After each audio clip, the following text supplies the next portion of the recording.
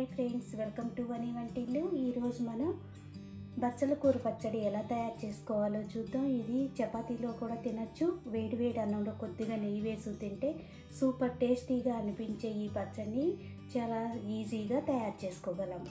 బచ్చల కూర పచ్చడికి కావాల్సిన పదార్థాలు ఇట్లా రెండు కట్టలు బచ్చల కూరని శుభ్రంగా వాష్ చేసుకుని ఈ విధంగా తీసుకోండి.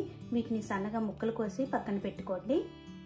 మీ స్పైస్ని బట్టి పచ్చిమిరపకాయలు తీసుకోండి. మీరు పచ్చిమిరపకాయల బదులు వెండి మిరపకాయలతో కూడా చేసుకోవచ్చు. నేను ఇలా పచ్చిమిరపకాయలు తీసుకున్నాను. ఒక హాఫ్ టీ స్పూన్ ధనియాలు తీసుకోండి. హాఫ్ టీ స్పూన్ జీలకర్ర.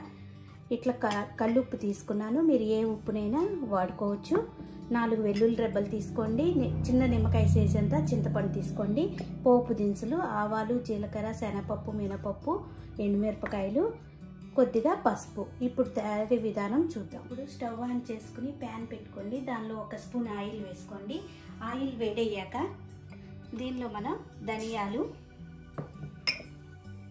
జీలకర్ర వేసి వేయించుకుందాం. వీటిని కొద్దిగా వేయించుకోండి. మాడకుండా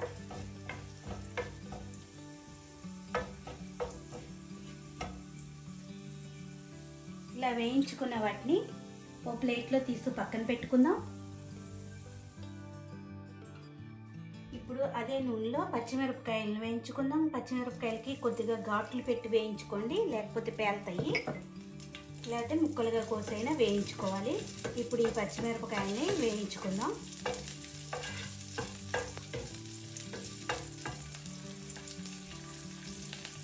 పచ్చిమిరపకాయలు వేగిపోయినాయి. ఇందాక మనం ధనియాలు జీలకర్ర వేయించుకున్నాం. దాటిని మిక్సీ జార్లో తీసుకుని పెట్టేసుకున్నాం కదా. ఇప్పుడు వీటిని కూడా ఈ పచ్చిమిరపకాయలను కూడా మిక్సీ జార్లో వేసేసుకోండి.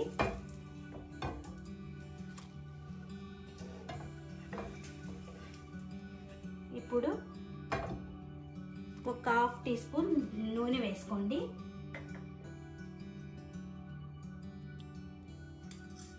దీనిలో ఇప్పుడు కట్ చేసి పెట్టుకున్న బచ్చల కొన్న వేసి వేయించుకుందాం.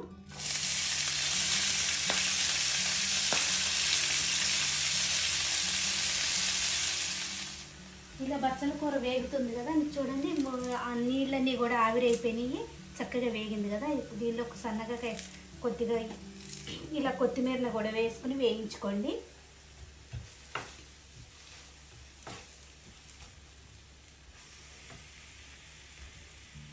మనకి ఇప్పుడు ఇలా వేగిపోయింది కదా స్టవ్ ఆఫ్ చేసుకుని దాన్ని చల్లారనిద్దాం. ఇలా మిక్సీ జార్లో వేసుకున్నాం కదా పచ్చిమిరపకాయలు. దీనిలో కావాల్సినంత చింతపండును వేసుకోండి. దీనిలోనే వెల్లుల్లిపాయ రెబ్బలు కూడా వేసుకుందాం. రుచికి తగినంత ఉప్పును వేసుకుందాం. ఇప్పుడు దీన్ని ఒకసారి మిక్సీ వేసుకుందాం. ఇలా గ్రైండ్ చేసుకున్న దానిలో ఇప్పుడు మనం వేయించుకున్న బచ్చల కూరను వేసుకుని కొంచెం బరకగా గ్రైండ్ చేసుకోవాలి.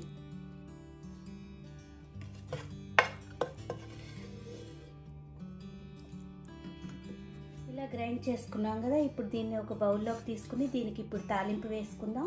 ఇప్పుడు స్టవ్ ఆన్ చేసుకుని తాలింపుకి చిన్న బాండి పెట్టుకోండి ఒక స్పూన్ ఆయిల్ వేసుకోండి. ఆయిల్ వేడయ్యాక ఎండుమిరపకాయలు రెండు వెల్లుల్లి గబ్బాలని ఇలా కొంచెం దంచుకుని వేసుకోండి. తాలింపుల్లో మనకి వెల్లుల్లి అనేది చాలా బాగుంటుంది. మనం ఇందా చూపించుకునే తాలింపు దినుసులన్నీ కూడా వేసుకుని వేయించుకోవాలి.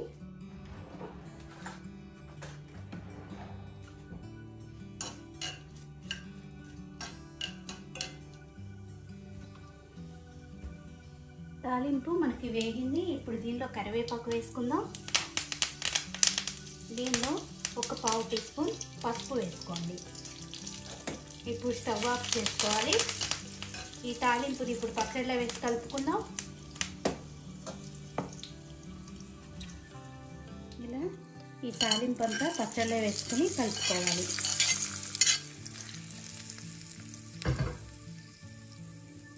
ఎంతో టేస్ట్గా ఉండే మనకి బచ్చలకూర చట్నీ రెడీ అయిపోయింది. ఇది వేడివేడి అన్నంలో కొంచెం నెయ్యి వేసి తింటే అన్నం అంతా కూడా దీంతో తినాలన్నంత రుచిగా అనిపిస్తుంది. మీరు కూడా ఇలా ట్రై చేసి చూడండి. ఈ వీడియో మీకు నచ్చినట్టయితే లైక్ చేయండి షేర్ చేయండి కామెంట్ చేయండి. మరిన్ని వీడియోల కోసం అని వెంటనే సబ్స్క్రైబ్ చేసుకోండి. Thank you for watching.